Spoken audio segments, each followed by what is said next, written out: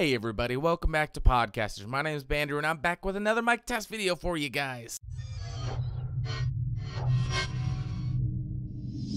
First off, you may notice that my voice is a little raspier than usual. That's because I was at a comic book convention all weekend and my voice hurts. But I am back with one of my most requested microphone reviews, and that is the Samson Meteor mic. And the first request I received for this was from a Aaron T or Aaron T. Um, I'm not sure which one he goes by. As I'm sure most of you know, I am not a fan of USB microphones because they it's difficult to upgrade from. You lack a lot of the functionality that you get with a normal microphone. You can't have an interface with it. It's just a huge pain in the butt, but this one is decent. It's pretty good. So this microphone runs about 50 to 70 bucks depending on when you buy it and what finish you get because on Amazon they have three different colors and you can look at them. I'll throw them in a video description down below. So first let's talk about what you get in this box, which is pretty fancy looking and I like the packaging. Um, you're going to get the microphone, which has a built-in stand. You're also going to get the USB cable, which runs directly into your computer. And lastly, you're going to get this handy little user's guide. First off, the construction on this feels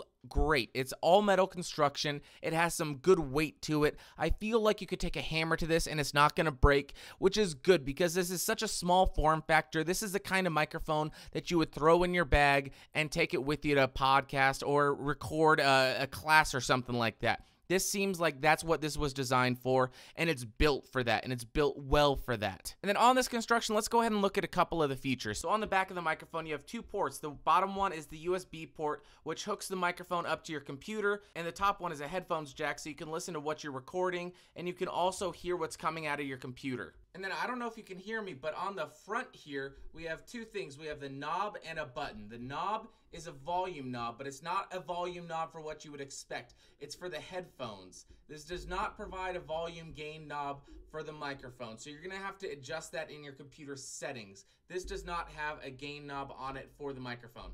And then the button in the middle is, let me show you. It's a mute button, that's right. And as I said, this does not have a microphone gain knob. The gain knob is for the headphones, so you will have to adjust the volume for your microphone on your computer settings. And right now, I am set at about 10%. And now my favorite part, the spec sheet. So right here, you can see the frequency response and the polar pattern. The frequency response is 20 hertz to 20 kilohertz, so it picks up the entire audible spectrum. And then we also have the polar pattern right here for a cardioid microphone, which means it picks up the majority of the audio from the front of the microphone. And as I said, it's a cardioid microphone, so let's go ahead and spin it around and keep talking and see where the dead spots are on this microphone. Overall, I think it's a pretty good sounding microphone. I would have liked to seen a microphone gain knob on it though. I think that's a feature that's pretty essential on any USB microphone, but we'll go ahead and overlook that and let's go ahead and do a little bit more testing. Okay, so right now I have the microphone sitting about one foot away from me right on my desk. Okay, now the microphone's sitting on my desk at about two feet away. Now I'm at about four feet away from the microphone and all the settings have remained the same. Now I'm gonna go ahead and be quiet for a second so you can hear the background noise that this microphone generates. Now the microphone's sitting on my desk in front of my keyboard about 12 inches away from my face and I'm going to go ahead and type on the keyboard to see how much noise it picks up from my keyboard and how much of my voice it picks up. Now I'm going to go ahead and see how it sounds recording an acoustic guitar.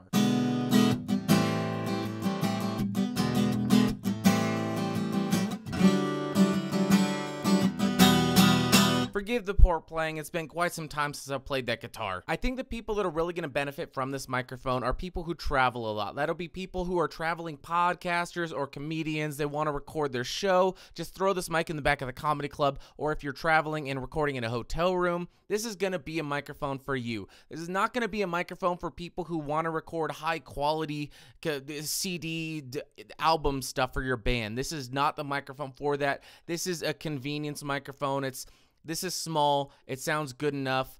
Throw it in your bag and go. That's what it's made for, and that's what it does really well. So yeah, I guess that'll do it. If you do have any more questions, leave them in the comments down below, and I will try to answer them as soon as possible. I'm sorry I've been slacking on that. I've been out of town this entire last weekend for the convention, but I'm back. I will answer your questions now. If you did find the video helpful, or you enjoyed it, or you learned anything, give me a thumbs up. If you thought the video sucked, give me a big old thumbs down. And if you want some more of these, they come out every Tuesday at least. Give me a subscribe by clicking the logo in the corner, and I will see you all next Tuesday or earlier. Thanks for watching. See you later. Bye.